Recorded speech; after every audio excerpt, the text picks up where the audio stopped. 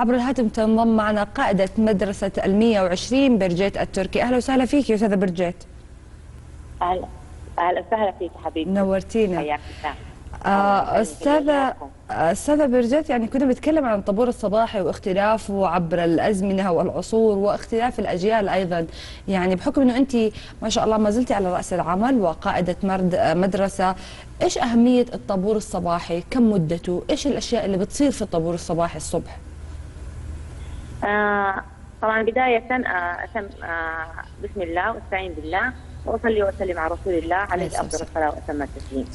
آه أرحب بك حبيبتي وبجميع ضيوفك وأرحب آه بالمشاهدين الكرام. بالنسبة للطابور الصباحي هو بدايات اليوم الدراسي.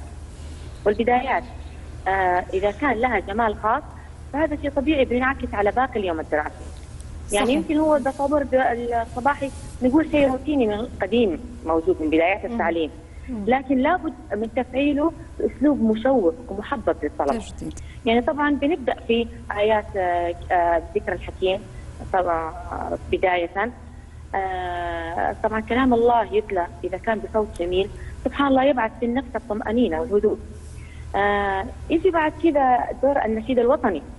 طبعا هنا النشيد الوطني لابد إنه يعزز فيه روح الانتماء للوطن.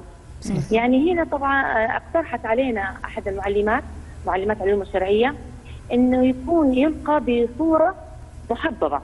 آه كيف يعني؟ أو بصورة مختلفة. فكان آه، مثلا عملنا طابور صباحي عملنا مسابقة لأجمل آه نشيد وطني آه للفصل. بين الفصول كانت طبعا. نعم. فتفاجأنا بأنه أثمر حقيقة عن إنجازات جميلة جدا. ما كان نشيد عادي أبدا بل وصل إلى تمثيل أدوار مقاطع تمثيلية قصيرة. تحكي مواقف لمؤسس الدولة الملك عبد العزيز رحمه الله. عند توحيد المملكة أو بعض العروض الجميلة؟ كانت بالفعل رسالة جميلة آه وهادفة توضح مقدار حب الوطن. صحيح. هذا هذا هو المطلوب يا. أستاذة آه، بر- برجت لما نتكلم عن آه، قيم المواطنه وكيف نعزز هذا الموضوع في أطفالنا من هم صغار ويكبروا عليها، لكن أنا أسفة قاطعتك كنت حابة أستفسر وأسأل عن بعض أولياء الأمور اللي حاولوا إنهم يخلوا عيالهم يتأخروا ويفوتهم طابور الصباح بح- بحكم أو العذر يكون الجو بارد. إيش ممكن تنصحيهم وتقولي لهم كيف ممكن لا المفروض إنه يجوا طابور الصباح وإيش الأشياء المفروض إنهم هم يسووها؟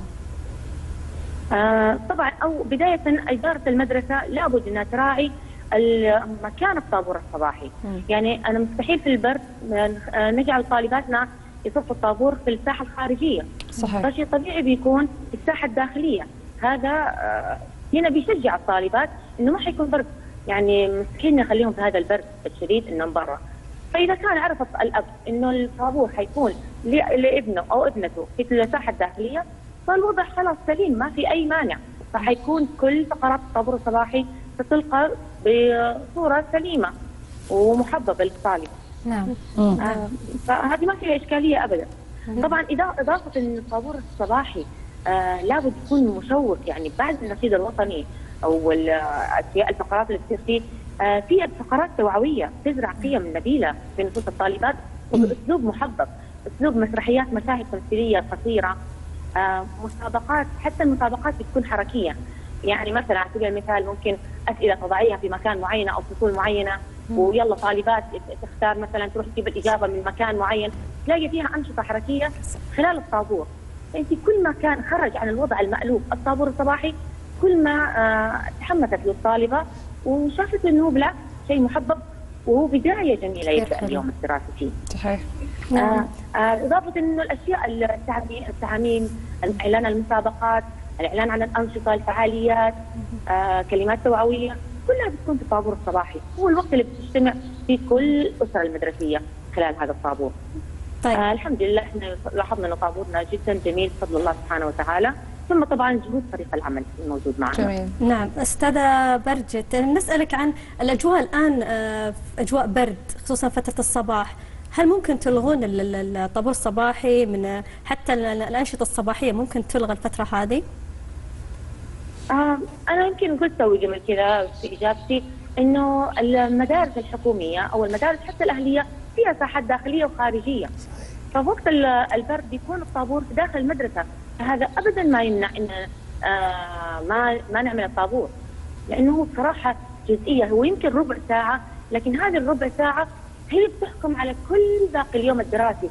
إما بطاقة إيجابية صحيح. وأسلوب محبط أو ممكن شيء ثاني يعني طاقة سلبية طاقة يعني في الطابور بيكون في تكريم. وأهم شيء تكريم الطالبة على كل شيء. أي مجهود تعمله أي عطاء تعمله صحيح. أي عمل لابد إنه بيكون في تكريم في هذا الطابور.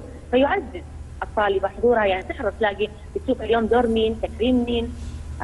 يعني جدا الحمد لله عملية. تحرص انه هي تكون متواجدة. يعني قائدة الثانوية 120 برجت التركي أنا أشكر لك هذه المداخلة يعطيك ألف عافية وشكرا على جهودكم المتواصلة في الطابور الصباحي وفي تربية الأجيال بشكل عام.